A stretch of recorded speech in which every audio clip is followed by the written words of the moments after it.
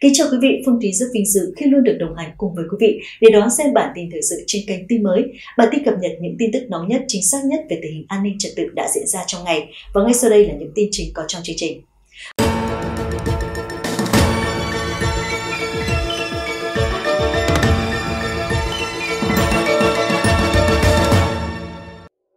Thưa quý vị và các bạn, đối với người dân Việt Nam, nhất là người miền Trung đã quen với chuyện mưa lũ, nhưng khi chứng kiến cảnh lũ lụt ở Trung Quốc trong mấy ngày vừa qua cũng phải dùng mình. Quảng Đông, Quảng Tây, Hồ Nam, Giang Tây và những nơi khác ở Trung Quốc trong mấy ngày qua đã hứng chịu những trận mưa như thác đổ, thậm chí còn đặc biệt lớn. Mực nước các sông ở các khu vực này đều tăng vọt, cộng với số lượng lớn nước các hồ chứa xả lũ dẫn đến lũ lớn chưa từng có nông nghiệp địa phương và tài sản của người dân bị thiệt hại nặng nề. Cơ đoạn video do cư dân mạng quay đã tiết lộ một số tình hình lũ lụt tại địa phương. Vừa qua một đoạn video được đăng tải trên mạng cho thấy những trận mưa lớn kéo dài nhiều ngày đã khiến dòng chảy mang theo đất đá ở vùng núi gần huyện Long Thắng, Quế Lâm, Quảng Tây. Dòng chảy mang theo đất đá di chuyển chậm nhưng uy lực kinh người, nhiều ngôi nhà bị nó cuốn trôi. Người dân tại hiện trường hô hoán, chạy nhanh lên, chạy nhanh lên – Mưa xối xả kéo dài trong nhiều ngày qua đã gây ra lở đất gần huyện Long Thắng, Quế Lâm, Quảng Tây, cuốn trôi nhiều ngôi nhà, một số người hét lên, mau lên, chạy mau lên. Một đoạn video được đăng tải trên mạng cho thấy trận lũ bùng phát ở Anh Đức, Quảng Đông đã nhấn chìm hoàn toàn ngôi nhà ở một tầng. Một cụ già tuyệt vọng trèo lên mái nhà nhưng chưa có ai cứu. Một cư dân mạng đăng tải tại Anh Đức, tỉnh Quảng Đông, một ông già đang rất tuyệt vọng trong trận lụt không có ai đến giải cứu. Cũng trong cùng ngày, một đoạn video được đăng tải trên Internet cho thấy Thành Viễn, Quảng Đông bị ảnh hưởng bởi lượng mưa lớn trong nhiều ngày, cộng với việc xả lũ của nhiều hồ chứa ở Thiều Quan, tạo thành một trận lũ kỷ lục bùng phát ở Anh Đức, Thành Viễn một người phụ nữ đã chia sẻ cảnh cô ấy chụp khi đi qua Anh Đức trên đường sắt cao tốc. Mưa lũ đã nhấn chìm những cây to, chỉ còn phất phơ phần ngọn, thoạt nhìn tưởng là cỏ. Nhiều nhà bị ngập đến mức chỉ còn mái tôn, có nhà ngập đến hết tầng 4.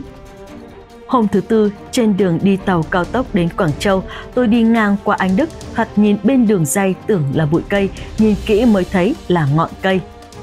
Một cư dân mạng viết trên Twitter rằng, xem mà bàng hoàng, Thật khủng khiếp, nhiều nhà chỉ còn nhô ra mỗi mái, ngập gần hết tầng 4. Cư dân mạng chia sẻ những bức ảnh chụp toàn cảnh ở Anh Đức so sánh với trước đây ngày hôm qua và mấy ngày trước, trận lũ này thực sự khiến người xem giật mình. Một đoạn video khác được đăng tải trên Internet cho thấy hơn 10 cửa xả lũ của hồ chứa nước Sầm Thiên Hà ở huyện Giang Hoa, Vĩnh Châu, Hồ Nam đã được mở hoàn toàn để xả nước lũ, khiến nhiều thị trấn và làng mạc ở hạ lưu bị ngập lụt. Một ngôi nhà bên sông đã bị đổ sập, một căn nhà bị cuốn trôi kéo theo nhiều ngôi nhà khác sụp đổ. Hôm thứ Tư, một đoạn video được đăng tải trên mạng cho thấy cửa hồ chứa Ngọc Sơn ở Giang Tây được mở để xả lũ.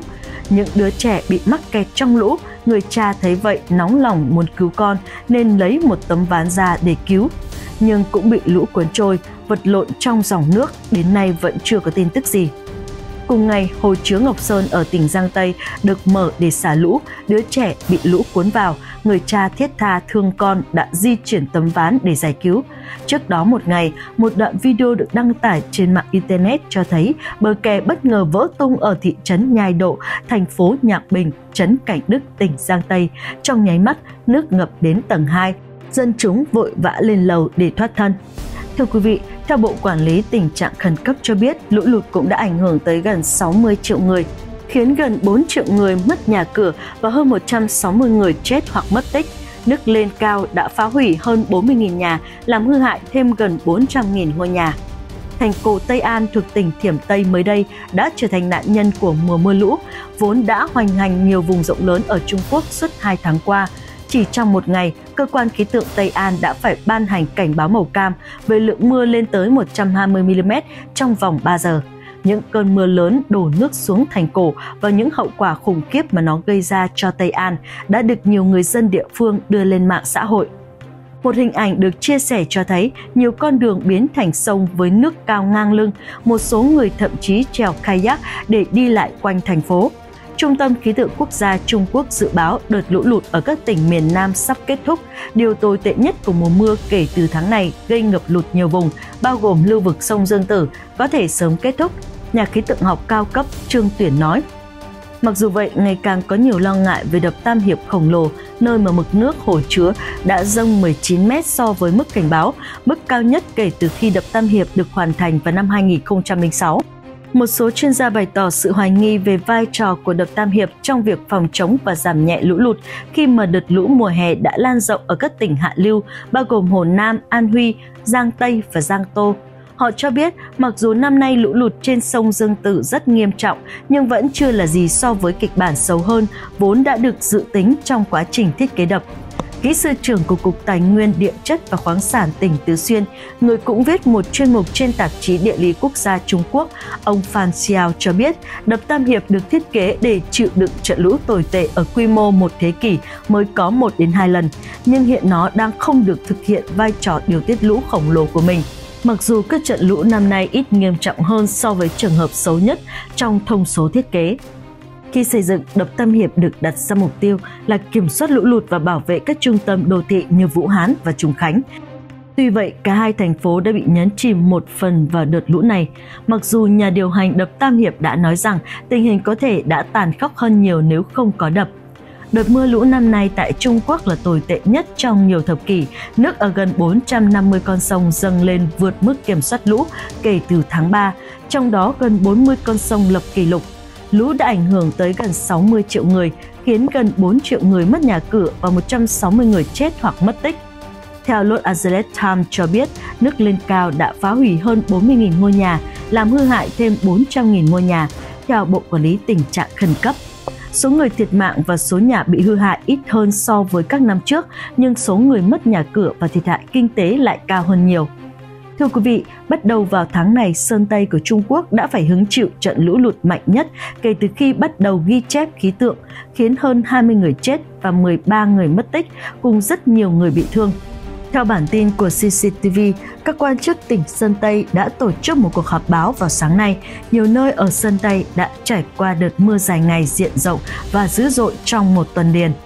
Lượng mưa trung bình ở Sơn Tây là 149mm và lớn nhất ở Sơn Tây tại huyện Đan Ninh, Linfen, lượng mưa lên tới 385,2 mm, gây lũ lụt ở gần 40 con sông trong tỉnh, bao gồm đoạn Tân Tây của sông Phần, đoạn Thanh Su của sông Uma, đoạn Phần Dương của sông Xiao và đoạn Tiểu Yết Mố Cầu sông Trường Nguyên ở huyện Kiansan. Trên tuyến Puxian bị cuốn trôi, tà vẹt bị treo khiến tàu ngừng chạy lượng mưa lớn đã ảnh hưởng đến hơn 1,8 triệu người ở Sơn Tây, hơn 125.000 người phải di rời và tái định cư khẩn cấp, gần 4 triệu hecta hoa màu bị ảnh hưởng, gần 20.000 ngôi nhà bị sập và 19.000 ngôi nhà khác bị hư hại nghiêm trọng. Ảnh hưởng trực tiếp đến nền kinh tế khoảng hơn 50 tỷ nhân dân tệ. Mới đây, lũ lụt ở nhiều nơi tại tỉnh Sơn Tây đã khiến hàng triệu người bị ảnh hưởng. Tỉnh trưởng nêu rõ cần ngăn chặn triệt để các vụ chết hàng loạt, gây thương tích hàng loạt cư dân mạng bày tỏ rằng họ thực sự cảm thấy khó chịu. Tỉnh trưởng Sơ Tây nói nghiêm ngặt ngăn chặn chết tập thể và thương tích hàng loạt. Vừa qua, Cục Quản lý Khẩn cấp tỉnh Sơn Tây báo cáo rằng lũ lụt gần đây đã ảnh hưởng đến 1 977.300 người ở 76 quận huyện tại 13 thành phố của tỉnh Sơn Tây, 121.000 người phải di rời và tái định cư khẩn cấp.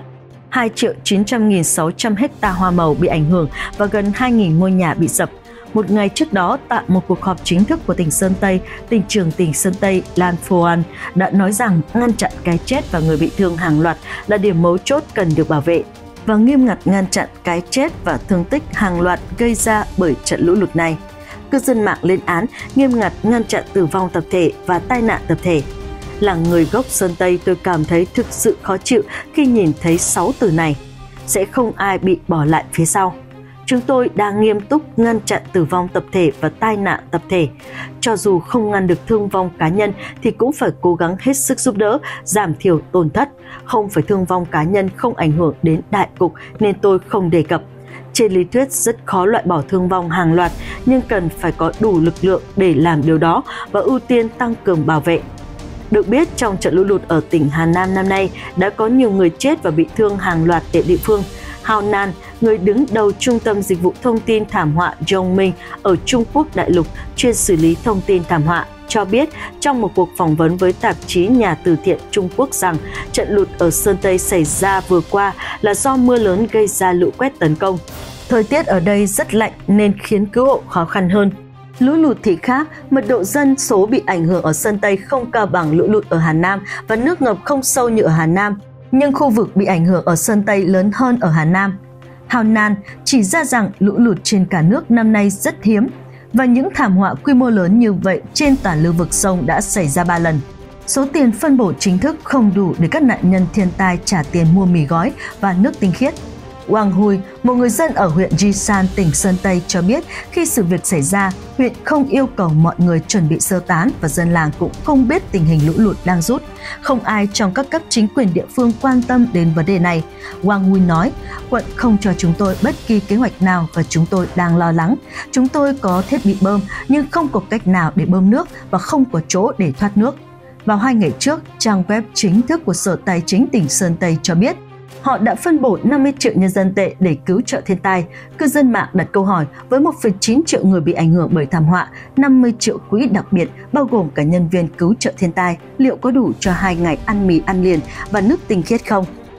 Ngoài ra, một cuộc họp báo tại thành phố Kim Trung, tỉnh Sơn Tây cho biết gần 700.000 người đã bị ảnh hưởng bởi lũ lụt cục bộ, 50.000 người phải di rời và diện tích hoa màu bị ảnh hưởng lên tới 1,2 triệu hecta. Một người dân ở thị trấn Lương Giang Ngạn, huyện Linh Thạch, thành phố Tuấn Trung nói với China New Weekly rằng điều cấp bách nhất hiện nay là dọn đường để lều, quần áo, thuốc cảm, áo mưa và giày đi mưa có thể đưa vào được. Thời tiết ở đây rất lạnh, chúng tôi không thể chịu đựng được nữa.